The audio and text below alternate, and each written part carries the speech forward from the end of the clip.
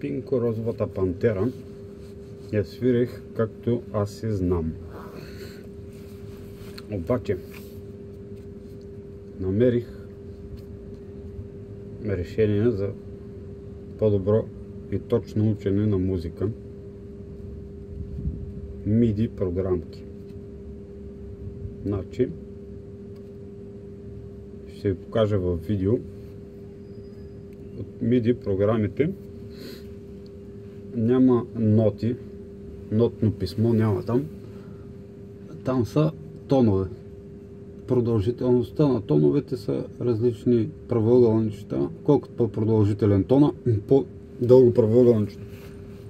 И аз оттам почнах да уча мелодийката на части на части и стана по-точно.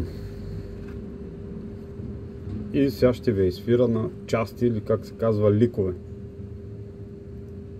Почва от на кавала ла диез или ми бемол, а, си бемол.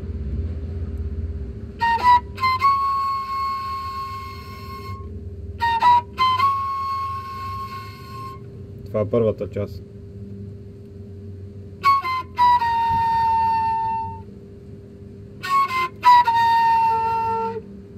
Втората част. Значи двете части на увода.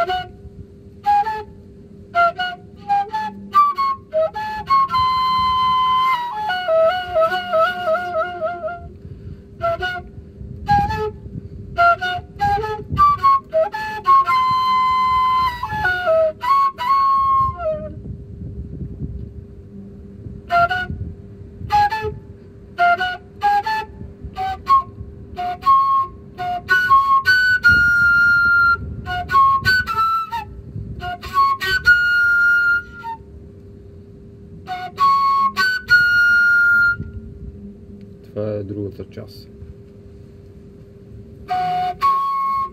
Значи тук идва на, на река Вала.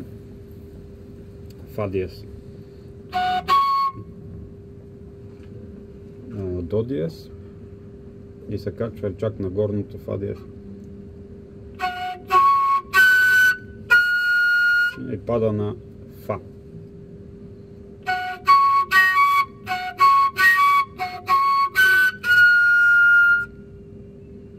Значи имаме работа с пръстите не ги местим, имаме работа с сменянето на регистрите.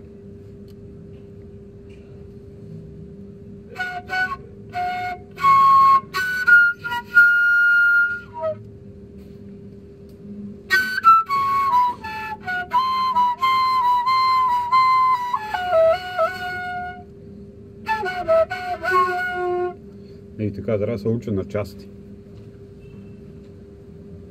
И трябва да покажа във видео MIDI файлове, имат всички известни класически парчета. Даже най-трудната част на крокодила Кена ден рождение има един преход, който доста трудничък така да го направиш на слух не е лесно.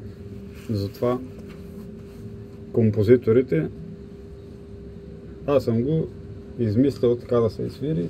Вие го вземете и го направете както аз искам.